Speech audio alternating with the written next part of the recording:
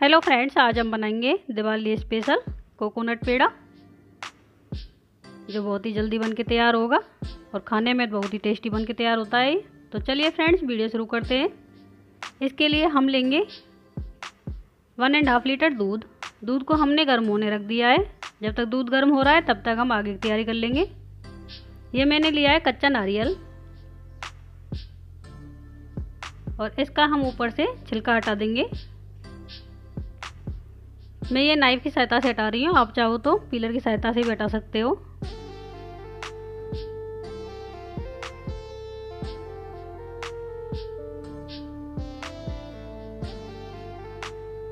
ये देखिए, ये हमने पूरा कोकोनट साफ़ कर लिया है। अब हम लेंगे एक मिक्सिंग ग्राइंडर और इसमें हम इसके पीस कट कट करके डाल देंगे। आप चाहो तो इसको ग्रेट भी कर सकते हो।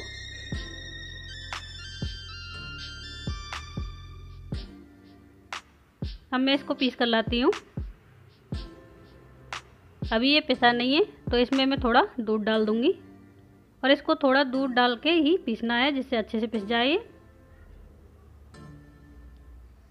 ये देखिए, ये हमारा पेस्ट बन के तैयार हो गया है। दूध को देख लेते हैं। दूध में हमारे में बॉयल आ गया है। तो अब हम इस पेस्ट को इसमें डाल देंगे। और अब हम इसको चलाते रहेंगे। फ्लेम हाई रखेंगे।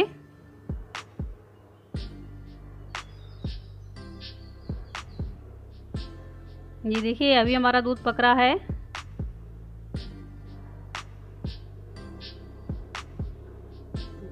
ये देखिए धीरे धीरे थिक होता जा रहा है, अभी हमको इसे और थिक करना है।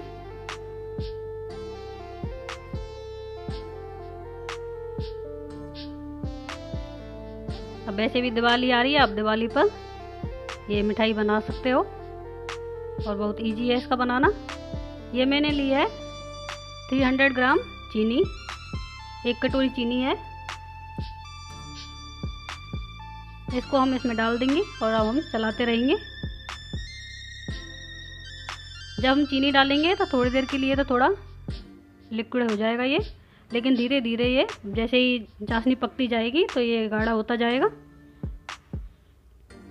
और थोड़ा सावधानी से ही करें क्योंकि इसके छींटे पड़ेंगे। ये देखिए, हमारा ये थिक हो रहा है। अभी हमें और इसको और थिक करना है।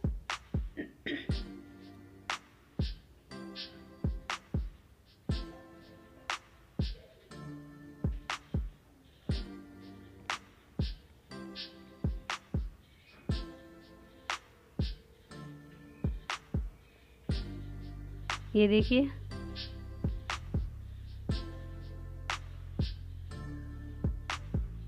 अब हम इसमें डाल देंगे फ़ूड कलर। ये ऑप्शनल है।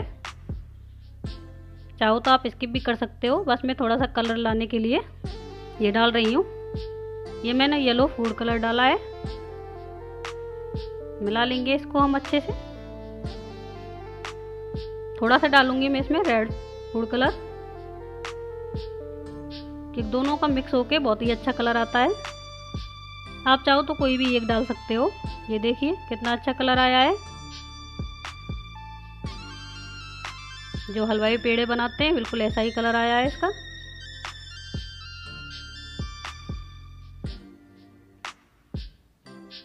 अब हम इसकी फ्लेम ऑफ़ कर देंगे। और अभी हमें इसको चलाते रहना है, नहीं तो ये नीचे लग जाएगा।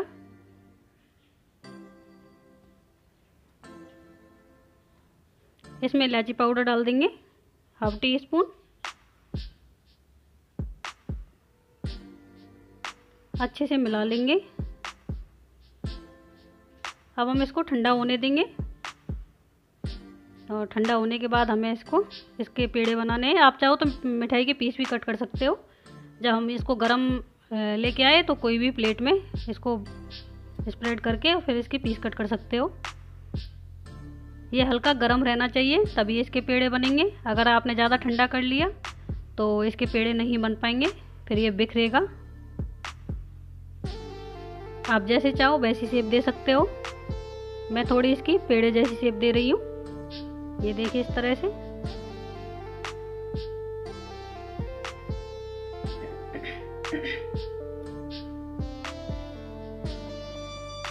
इसी तरह से हम सारे पेड़े बनाकर तैयार कर लेंगे। ये देखिए, सारे पेड़े हमारे रेडी हो गए हैं। अब मैं थोड़ा सा डेकोरेट कर लेती हूँ।